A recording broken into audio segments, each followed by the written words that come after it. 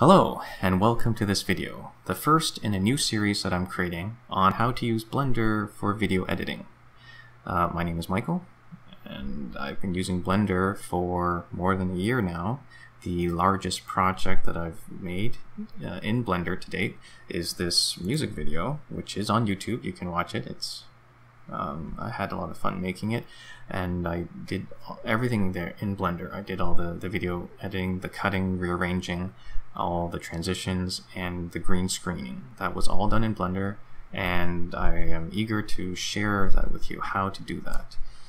Uh, the one thing about Blender, though, is that um, it's hard to get into because the user interface is so different. It's it's almost like you have to start from scratch. You have to like you must unlearn what you have learned. That's it. Thank you. You have to do that. Thanks do that.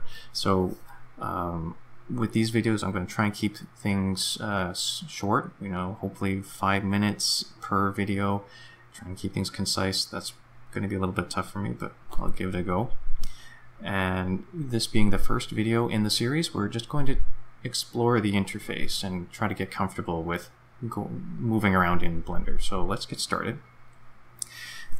what we see, we're seeing now is the splash screen for Blender. You'll see something like this. If you have a, a different version, you can just click anywhere to make it go away, and then we are left with uh, this uh, intimidating screen, but you don't have to worry about it because this is uh, for 3D modeling, and what we want to do, very first thing, is click this button and then scroll down to video editing. Once we do that, we have an entirely different layout, and this is what we'll be using mostly for our video editing. Um, when you move your mouse around, you'll see that you can resize the different uh, elements on this uh, in within the Blender window. So everything you can sh shrink or move uh, left to right, up to down.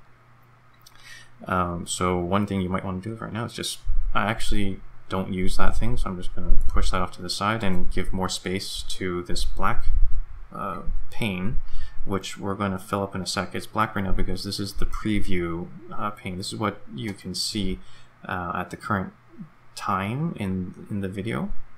And in order to actually see anything, we have to add something. So we're going to go to add, uh, which is, that's a left mouse click, by the way, uh, and then movie, and I'm going to pick a file.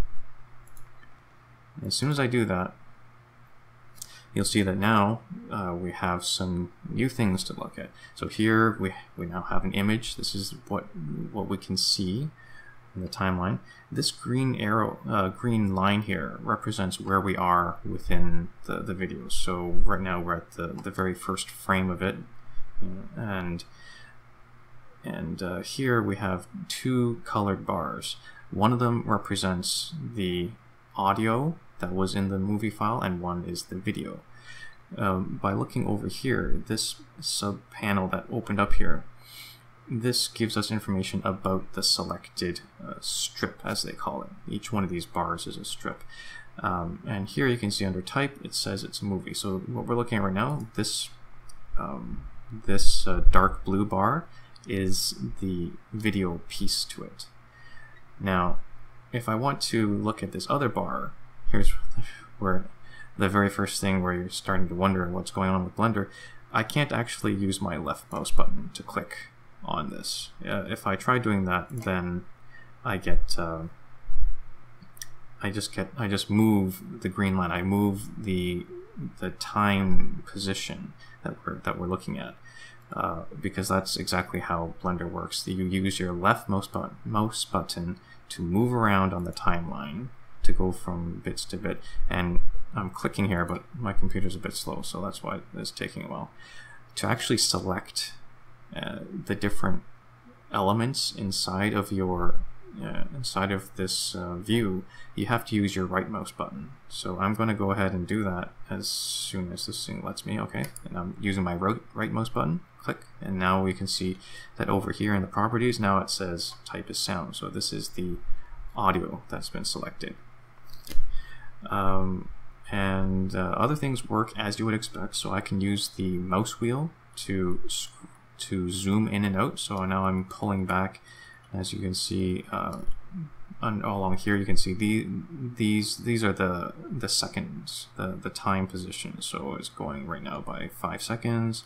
As I zoom out more to see more of it then now we're looking at minutes until I go all the way until we can see that the entire start to finish of this video is going from the first second all the way to about five minutes and speaking of five minutes, I'm just about at my time limit for our intro video, so I'm going to stop it there.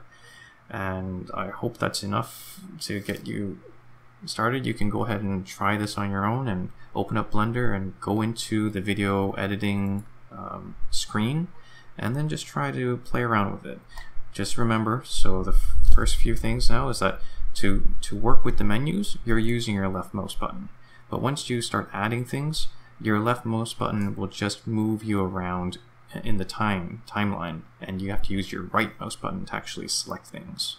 Uh, so that's it for now um, and I'll see you in the next video. Bye.